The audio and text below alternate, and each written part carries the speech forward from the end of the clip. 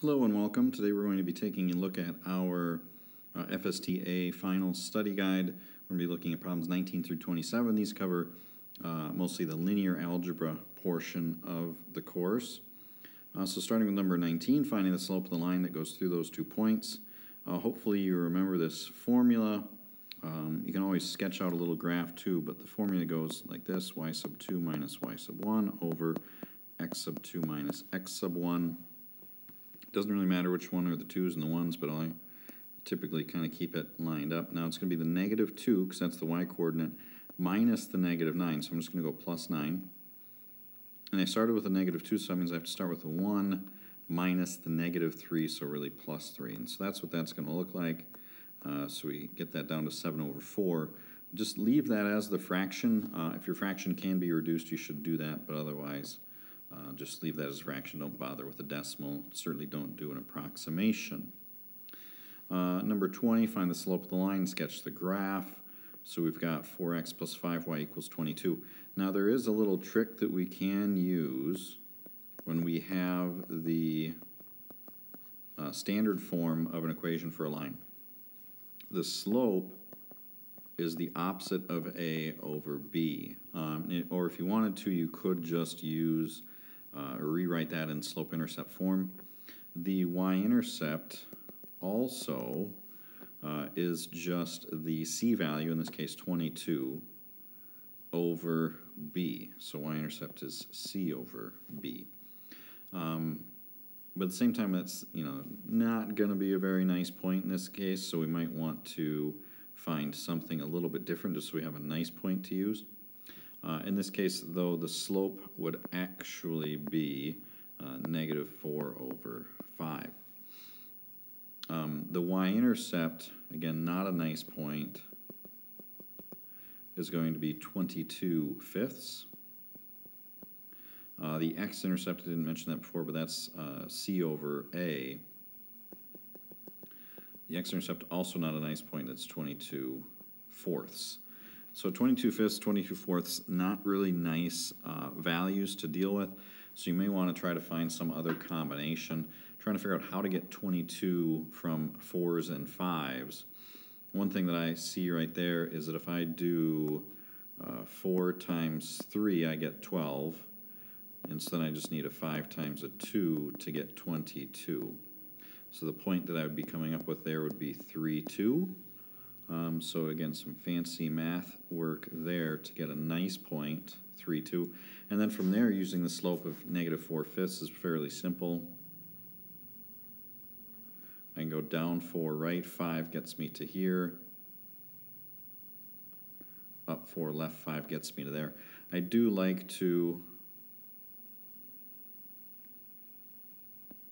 uh, kind of continue extending that uh, as long as I'm on the graph still but that's what that graph would look like. So, and notice the not nice intercepts that we have, the y-intercept 22 fifths, you know, a little bit below, um, actually that should be a little bit above 4. So my point's a little bit off there. And then the 22 fourths for the x-intercept um, again, should be uh, a little over five, five and a half, really, I suppose. Um, so that looks like that's about the right place. So um, that's how we would graph that. Moving on to 21, they want us to come up with an equation for the line and write it in standard form. So they give us the point that it goes through and the slope. So I would probably start with point slope form, which looks like this. And so we put the point in and the slope in, so we go y minus 4 equals the slope negative 5 sevenths times x minus 2. Now if I'm going to go for standard form, I can't have any fractions, so I would probably right away just deal with that 7. So multiply both sides. On the left side we end up with 7y minus 28. And on the right side we get negative 5 times the x minus 2. And again, we're just The only thing that happens on the right side is those sevens cancel out. Sometimes people try to overdo it and they end up multiplying the x minus 2 by 7 as well. But again, it's already been multiplied by the 7. But the only effect it has is to get rid of that 7 in the denominator. Uh, so we can uh, distribute the negative 5 into those parentheses. Uh, 7y minus 28 will stay the same for a minute here. Get negative 5x plus 10. Fix my equal sign there. Um, wait, why did I have? Oh, yeah, x and y. Okay. Confusing myself there for a second. Um, all right, I want standard form. So I want to get the x's and y's on the same side. Um, fine point, we do want that x to be positive, so I'll add that to both sides, although that would probably be the choice you'd make anyway. If I'm putting those on the left, then I want the number on the right. So we get 5x plus 7y equals 38. That's the equation uh, of a line that fits that uh, information that goes through 2, 4 with a slope of negative 5 sevenths. And they wanted that in standard form. So there we go. Next problem we have is 24. It's similar to the last one, except now they want the equation in slope-intercept form. Um, and they tell us it goes through negative 6, 5, and it's parallel to negative 7x plus 5y equals 57. Uh, again, if you know the, the trick for uh, getting the slope out of the standard form, that's going to work great here. Slope would be a positive 7 over 5. You could also, um, again, just rewrite that in slope-intercept form to figure that out. At this point then, again, the, the slope for that line is 7 fifths. And I want to write an equation uh, for a line that's parallel to that one. That would mean they would have the same slope. So that slope of 7 fifths is also my slope that I'm writing uh, my equation for, and it goes through negative 6, 5. Uh, they want slope-intercept, but it's much easier to start in point slope. So I would do, oops, get to my pen here, uh, y minus 5 equals the 7 fifths, and then x plus 6, really. Um, now they want slope-intercept form, so I don't necessarily need to uh, worry about getting rid of that fraction, and I don't know that I necessarily would.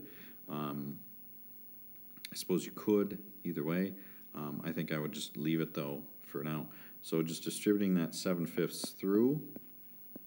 So we get 7 fifths x plus uh, 7 times 6 would be 42, so 42 fifths. Uh, and then we would add the 5 to both sides. Now I'm going to be adding that 5 to the 42 fifths. Your calculator, of course, could do that pretty well. Um, and fifths are nice enough uh, decimals. You could use the decimal there. It's almost easier for me to think of it as a fraction, though, which I know is weird. But um, 5 is the same as 25 fifths. So adding that to 42 fifths gets me to 67 fifths. And I kind of had to sneak my plus sign in there because I didn't leave much room for it. But that would be that equation. Um, again, I would guess that the multiple choice option would be in fraction form, uh, but doesn't hurt to know those decimals, and those are exact because fifths are uh, exact decimals, so you could use that as well. Uh, okay, same sort of thing. It goes through negative 3, 8, but now it's perpendicular to this one. That means that the slope of this line which is um, negative, or 3, sorry, 3 over 4, uh, would be the opposite reciprocal to the perpendicular slope. So this one here is positive. That means that the slope here will be negative. And then we just flip it over, so negative 4 thirds. So again, a little bit of work there to get that slope, uh, perpendicular slope that we need. But the slope that we're actually using is negative 4 thirds and it goes through negative 3, 8. From there, it's just going to be the same kind of deal. Uh, I'm going to start with point slope form, so y minus 8 equals negative 4 thirds times x plus 3. Ooh, in this case, it actually works out nicely where my slope and my x value uh, are going to kind of agree with each other a bit here. So I get negative 4 thirds x, and then this ends up being just negative 4 or minus 4. So a little bit easier there, adding the 8 then just to the plain minus 4 we get y equals negative 4 thirds x plus 4. And so that's the equation for the line that goes through negative 3, 8 and is perpendicular to negative 3x plus 4y equals negative 23. And then these will be the last two questions that we look at here, 26 and 27, graphing compound inequalities. Um, so one of the things I want to emphasize here the and, very important that we're looking at that. So and means that we're only going to shade in the area that's shaded by both inequalities. Um, the x plus y greater than or equal to 2, that one's easy enough to get into uh, slope-intercept form that I would probably just recommend that. Uh, has a y-intercept of 2, so we start there. Has a slope of negative 1, so we go down 1, right 1. Probably do that for a little while, at least on my graph. Um, trying to line these up as well as I can without having an actual grid. Uh, and then up one, left one as I go the other direction. And I'm kind of off the grid there. It is, uh, it does have the equal to, so we would do a solid line. I'm actually pretty proud, proud of that line. A little wavy, I suppose, but still. Um, and then the shading part. Now, there's a few different ways I know that we go over this. Um, the first way uh, that people tend to like to do this is using a test point. Uh, as long as the line doesn't go through the origin, that's a good test point. If I plug zeros in here, 0 plus 0 is not greater than or equal to 2, because that would say 0 is greater than or equal to 2. It's supposed to be a 2, which of course is false. So that means that this is false. We would shade in the other direction. Maybe I'll, yeah, I'm trying to decide how I want to do my colors. Well, maybe I'll just do purple arrows, and I'll use a highlighter to actually color it. And I like to draw arrows uh, rather than do the shading because I've still got another line to graph. Um, and I don't want the, the shading to get in the way and make a big mess that way. So um, now the other one, y is less than or equal to 2, again, we start with our boundary line, and I didn't really mention that on the last one, but the boundary line there would just be y equals 2. Um, now, again, people get all kinds of confused with this, um, but really the y equals a number is a horizontal line. If we look at one of these points here, y equals 2, uh, it, there at that point, 0, 2, also at 1, 2, and 2, 2, and 3, 2, and 4, 2, and 5, 2, and 6, 2, and just to be you know, really annoying, we'll go this way as well. So all of those points, and of course it would be solid because it has the equal to, all of those points have a y value of 2. So when you think of it that way, really no reason we should uh, get confused there. But you know, again, I'm sure someone still will. But all those points y is 2, and that's really all that that boundary line equation is saying. Now the inequality is saying we want the values that are less than or equal to 2, uh, and again, you could still use a test point, but I would just look at it this way. It's going to go down because that's where the values of y are less than 2. I guess I never really mentioned the other method that I like to use um, there, and uh, there's a couple of ways to look at it. If I look at the original inequality for x plus y is greater than or equal to 2, uh, the x and the y are supposed to be greater than something. Both x and y are greater than stuff as they go up or to the right on their axes, which would, again, use that same side that we looked at there. Um, now, as far as shading, again, it is and. Let me get my highlighter ready here, see if I've got that, and that should work. I'll use a wholly different color here. So we shade where they overlap, which is going to be this area over here. That's the one that's covered by both. And of course, we'd get all the way in that corner. I might have to make my uh, highlighter a little bit smaller there to get that uh, shaded in pretty well. Um, and so it looks like that for where we shade. Um, and again, really you should only shade the actual solution region. Otherwise, it's not necessarily clear, uh, unless you do a nice job of it, of what you're saying is the actual solutions to that compound inequality. So that's what I would have that look like.